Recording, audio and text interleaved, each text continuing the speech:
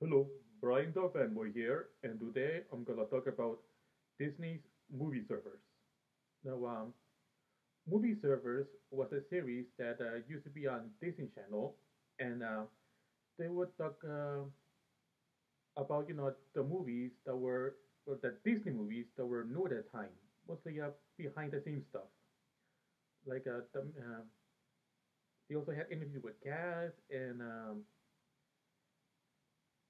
also for any movies that have special effects, that too. And it was an animated movie. It will be a, or they showed a storyboard, so you know, like a animation stuff. Yes, and also uh, at the end of each episode, they would uh, have kind of like an arts and craft thing that has to do with the movies that being talked about.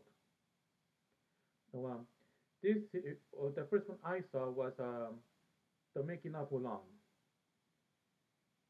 and other movies that were uh, shown around were like um were Tarzan, Toy Story 2, The Parent Trap, Monster Inc., and uh, uh, as well. And also, um,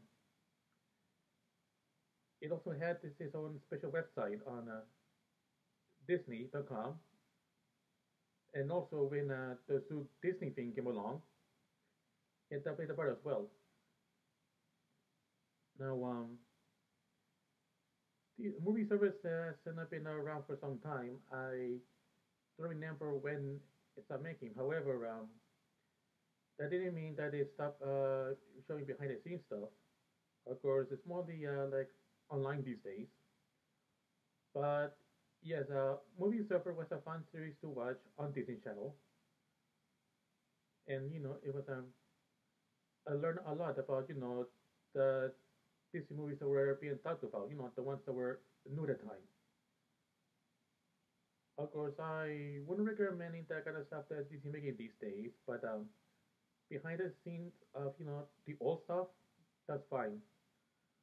But yes, um, I did enjoy watching uh, Movie Surfers and uh, going online and uh, learn more about uh, yeah, these DC movies that were new back then. So yes, I think that's all I can say about this series in this video. And also, please subscribe to my channel because it will help me a lot. I mean, help me a lot. And also, um, please share this video on social media like Facebook, Twitter, or whatever. So that's it, and I'll see you next time.